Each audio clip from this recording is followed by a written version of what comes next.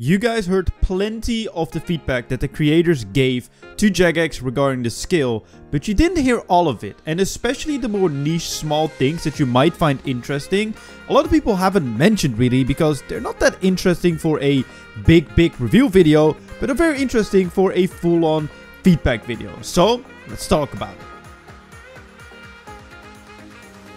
Yo, what's going on guys? My name is Chevalric and today I wanted to be talking about the feedback that I gave to Jagex regarding the playtesting of Necromancy from the tutorial to combat and some miscellaneous bugs and just in general feedback that I think could be really, really good for the skill. My main focus was really the experience of a not informed player, aka a spacebar warrior, and a person with visual impairments because I do have a visual impairment myself, but we'll get more into that later. I do want to put a little disclaimer. I told all these feedback points to Jagex as well, so it's not just me making a video and then being like, hopefully they change it. They're aware of all these things.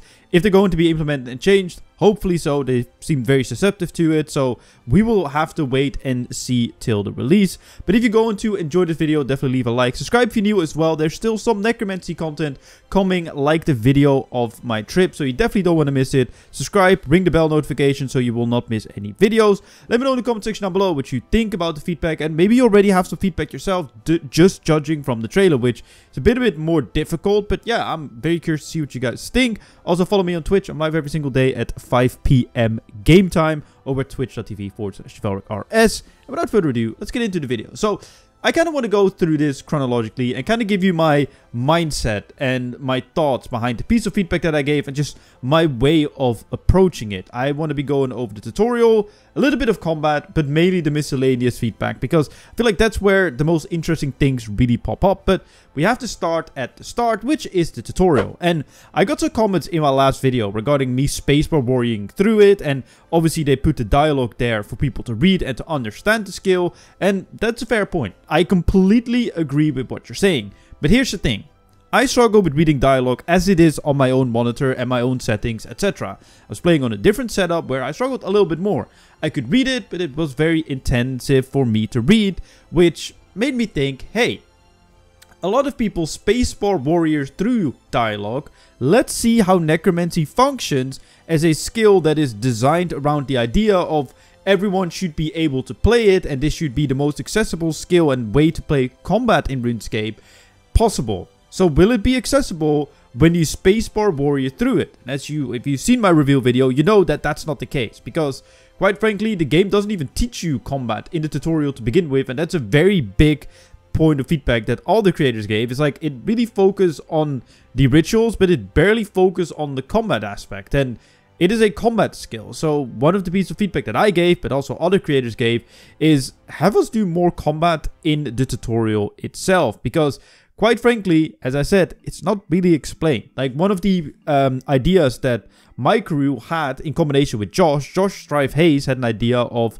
hey, we couldn't all find the shop. Let's have a yellow trail there, which you obviously have in tutorial quests and stuff. And then when you get to the shop, you might encounter some ghoul or some enemy, right? And then you have to use your new abilities to take it on, but when you have your new ability, like the Finger of Death, which you need to build stacks for, you will be able to see it that it's lit up, which was feedback from my crew.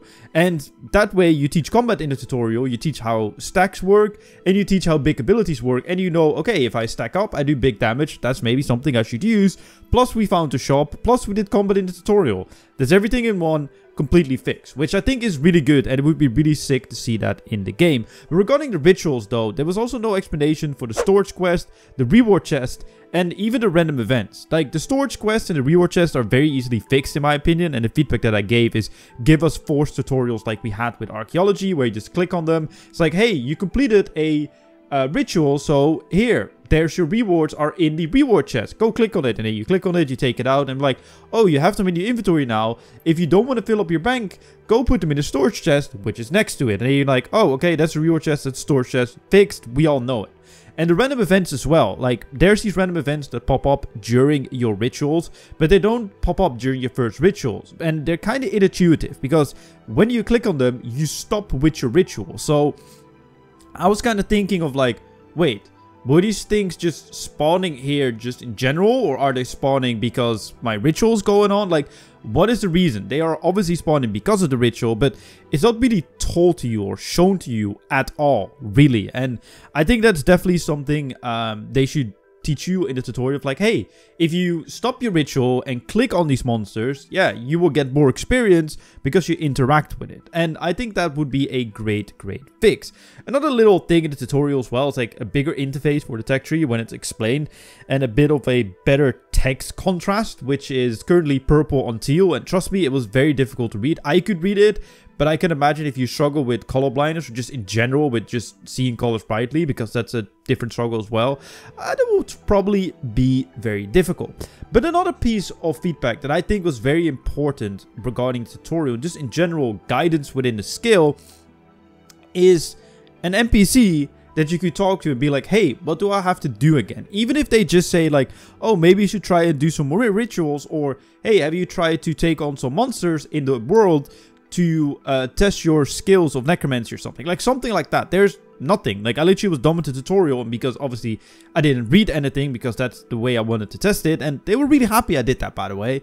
Um, they I just didn't know what to do. I was like, okay, so is is do I need to do rituals now? Because that's kind of how necromancy was explained to me. Because obviously, Space Warrior through it, and there's no combat really in the tutorial. So hey, uh, is necromancy just doing rituals and that's when you train it up and then you use it in combat? Like, it's not clear enough. Obviously, I understood that you could take on monsters. And that's probably the best way to kill it, but there are some people that will not understand it and you need to really try and see this from a perspective of someone that has never played the game doesn't understand what runescape is about and with just this tutorial they probably think oh well necromancy is just taking on mobs uh, sorry it's just doing rituals and then you eventually take on mobs but it's not really explained that you can train it by taking on monsters. Um, when it comes to combat though, there's not much really feedback that I gave because I didn't really focus on it for reasons because of there being actual PVMers there like Wuzzy, DRS guy, and obviously the god himself, Evil Lucario, who spent the entire first day at Dummies, which I think was hilarious. Um, because he just wanted to test things, bro. An absolute goat right there. But yeah, the only thing that I really had, it was the thing that my crew said, is with the ability when it like flashes up, after you build stacks, if that will be implemented, that there there's also an audio cue. For example, the first two attacks will have a certain sound, and the third one will have a slightly different but very distinctive sound. So you know, okay, that sound has been, and now I can use my big ability. But now for the interesting feedback that I was able to give and the more miscellaneous and I think the more fun feedback in general. Because all of this you've probably heard before. But the miscellaneous things that just happened whilst testing things are quite funny and at least to me are very interesting. Because for example, during one of the quests, the ritual site said that I didn't have to correct runes. Even though the runes that I was needing to have for the quest according to the quest guide, I had there. But apparently so, the text that was in the quest guide said that it was the wrong rune. So for example, I needed rune A from the quest guide, which was on the floor, but in reality, I needed rune B. So I wasn't able to continue on, but I was able to figure it out because, well, there was only one other rune that I created. So I was like, well, let's just test it and see if that works. And hey ho, it did work, which I think was quite funny. It was just an interface bug. And it, it was interesting to see those types of things because usually when things release, at least I never figure these things out. I know they happen, but uh, yeah, I, I didn't see it and I gave them that as feedback. Another thing is when I entered the runecrafting altar, which I unfortunately cannot show because of the NDA I'm still under, um, it had a very funky click box. Like, um, it's like this big thing that you can click on to enter the runecrafting altar, but there was only like a small part that you could click on, and I was like, why. I mean, RuneScape has a lot of funky click boxes, but that was definitely one of them, and it was really funny to see. Um, another quest as well uh, was stuck and you couldn't continue the quest, at least from the point of view from the quest log. It said that you had to do two different tasks, that you could go about it for doing um, the progression of your quest. So task A and task B. I chose to do task A, and eventually when I finished it and I did everything I needed to do and opened my quest log to see what I needed to do next, which was going back to an NPC, um, it still said that I needed to do it, and it said that I didn't do anything, that I still had to do either task A or task B. But when I went back to the NPC, I was just able to continue on with the quest and finish it, which was very interesting to see, and that's definitely a visual bug. And I'm pretty sure now I think about it, I didn't even tell them about this, so I might have to tell them about this bug. I will send them a message after this. But yeah, that's uh, that was definitely something funny, or something else. You couldn't scroll down and stayed scroll down in the ritual list. Eventually, when we were able to unlock everything and go to 120 and just test out combat and stuff. Um, I just wanted to look at the ritual list to see what's there, but when you scroll down, it automatically scrolled up again, which is also not supposed to happen. It should stay scrolled down, which was quite funny to see. And another piece of feedback, just in general, that I gave as well is I would love, and obviously I don't know if that's the case, but I would love if there were more ritual sites. I think ritual sites are a big part of the skill. I do believe that combat Ozy is, the, well, I don't believe, I know that combat is the biggest part of the skill, right?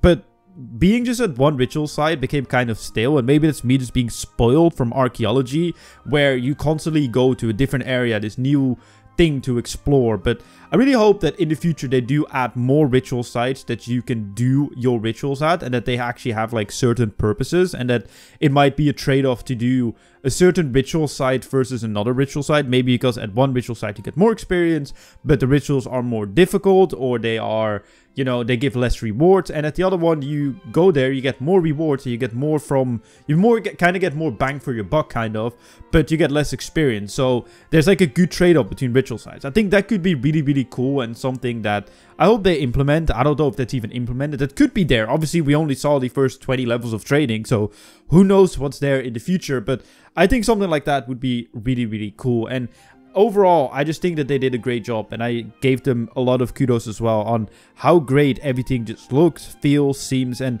it generally seems like the team that made archaeology. Like I've been saying on stream, pretty much, if you give someone a RuneScape account and let them train every single skill for like 10 15 minutes and ask them hey which of these skills are there are two of these skills that are made by the exact same team or almost the same team which ones are they? And I think all of you would pick out archaeology and necromancy because not that they're similar in the way they function, but kind of like the soul of the skill, if that makes sense. Like that's a very abstract way of talking about it really is the same. And I think archaeology is the best skill that they have released so far. So that gives me high hopes for necromancy and its release. And I'm very curious to see what it will do for the entire meta, how it will function with new players. And I might just do a theory crafting video on that as well at some point because I generally think it's a interesting conversation to be had regarding what the effect of necromancy could be on RuneScape in general. But yeah, I really hope you guys did enjoy this little insight and kind of point of view from me just looking into necromancy and just kind of